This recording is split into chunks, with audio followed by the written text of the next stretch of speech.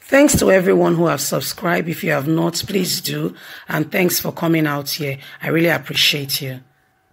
Kwankwaso hails Obaseki, says US, UK intervention on election riggers was timely. That's what we are talking about. That this man, it was not just timely, this man was favored. How come? The US have ever been there. yes, as long as since I was born, I was born to meet that the United States of America is already a democratic nation over many years ago, hundreds of years ago. The UK, no difference. And honestly speaking, they've been talking about, they've been speaking into Nigerian politics, but not as emphatic as it is this time. This time is by a mile with a difference. I can assure you 300%. I mean, they were so, the statements were so bold they even went ahead, issued visa, visa sanctions that very week of election. And it was APC governors. What's the reflection of this, especially with 2023, uh, you know, ahead? And APC wants to participate. If for nothing, they don't want to lose the presidency. So with all this in place, everybody was sitting up. When you have the like of El-Rufai that has been sanctioned by the US, I did not know until the US reiterated it again to say the sanction has been extended. Adams Oshiomhole. What about Bello of um, of Kogi State? What about uh, Kano State Governor, the Dollar Man Ganduje? To mention but a few. And they told President Muhammadu Buhari and the UK joined to say, you know what? Hmm, if this thing is not done well, visa ban is just the, it's just a it's just a step, it's just a tip of the iceberg. You see, your properties in the UK will be confiscated. Why? Because and you'll be and you'll be judged in the international court. So every hands were on deck. Did you see that? Helicopter was sent to Edo State to oversee the airway to see and to look out if there are where you see people gathering and immediately there is you know intelligence to go to that place and dislodge every kind of gathering that may not that may hinder free flow of election. Is it policemen? 31,000 is it a is it a waterway? Navy's officers were there. To the extent to the extent that Oba of Benin had to say is Edo State at war Anyway, guys, Kwankwaso, you know, we came that week to the election. He was there a week to the time, and he came to stay with Governor Godwin Obaseki. I mean, it was the former governor of Kano State. He came to stay with Governor Godwin Obaseki to felicitate with his brother, and it was it was amazing. And we all know about the victory. Those of you who are supporters, it was it was mind blowing. Let's get straight into the news and hear what Kwankwaso had to say.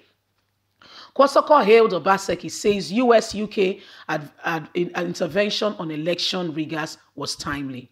Former governor of Kano State Senate, Musa, Senator Musa Kwankwaso has congratulated Governor Godwin Obaseki for his re-election on Saturday governorship election.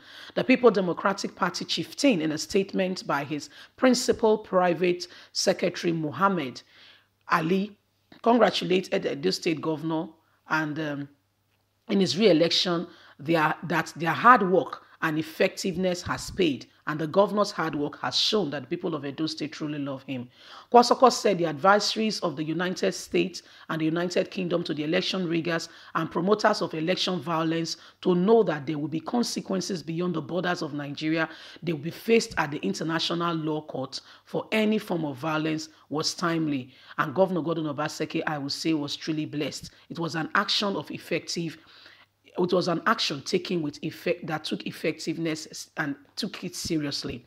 He added that the party victory was hanging mainly on the outstanding commitment, relentlessness, courage, and doggedness of the chairman of the campaign council, Governor Nyesom Wike of Rivers State. He said, let me also thank the representative of the international community in Nigeria, especially the United States Embassy, um, Embassy in Nigeria, the United Kingdom Embassy in Nigeria, for their timely advice on the mechanism of election malpractices and perpetrators of election violence. Your advice, your advisories on election riggers and promoters of election violence to know that there will be consequences beyond the shores of Nigeria. In fact, international sanction for their behaviors and actions was very effective and timely. We thank you for your interest in the deepen to deepen the democracy in our country. We really, really appreciate you. The good people of Edo State have spoken, and the true choice of the people has reflected. I therefore join all citizens of goodwill to congratulate the people of Edo State on the successful, peaceful election conducted, the global national election which held on Saturday, September the 19th, by the Independent Electoral Commission, INEC. I am especially congratulating the people of Edo State for their foresight in re-electing their hardworking and efficient Governor Godwin Obaseki to continue with the excellent work of development in Edo State. I'm also congratulating Governor Godwin Obaseki. Oh, Obaseki, you are a strong man and your able deputy, Philip Shaibu, like a brother, two of you stood together over the well-deserved victory. You worked very hard, and the people of Edo State have seen it. To to to give you a word, they came back, came out in mass to vote you again in. You guys deserve this success and this election. Multiple elections have been done in this country, but there has been no one like this one. Congratulations once again. Thanks for all you have done for the people of Edo State. Well, there you have it. Kwankwaso was in Edo State and we reported live to you.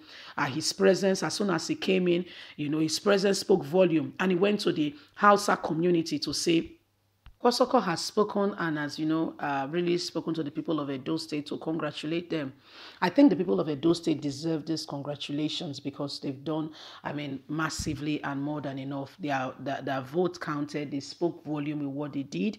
It was a beautiful one. And um, to mention but a few, Edo State is happier and the people, you could see the mass turnout, you know, in the in the parade, in the march, how the people came out in mass to, you know, celebrate with the governor. It shows that they have a heart and they are genuinely interested in the re-election of their governor.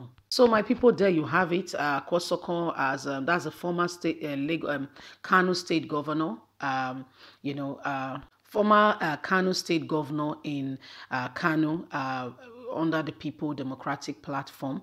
Uh, he has become you know, uh, he has become the, uh, uh, the a chieftain now. You know, when you have become a governor and your tenure has finished, automatically the chieftaincy title is uh, is placed upon you. Okay, so they call them chieftains. so that's why they call him a chieftain in APC. Well, this man, well, he's gone on and is uh, he's made a whole lot of statements saying uh, it is time it is time actually truly and really for you know uh, Edo State to move forward that the victory was something else and uh, nobody could fault what has happened it was something that was different from you know it's like no order and everybody could see it and actually speak that truly and really it was with a difference anyway my people this is what is happening this is where we are today I would like you to leave us a comment don't forget to like us share subscribe click on the notification button so you can always get all our latest news. A very warm big thank you to every one of you for continuously being out there. We truly, really appreciate you. God bless you. Have a fantastic and a lovely day. From us, bye for now.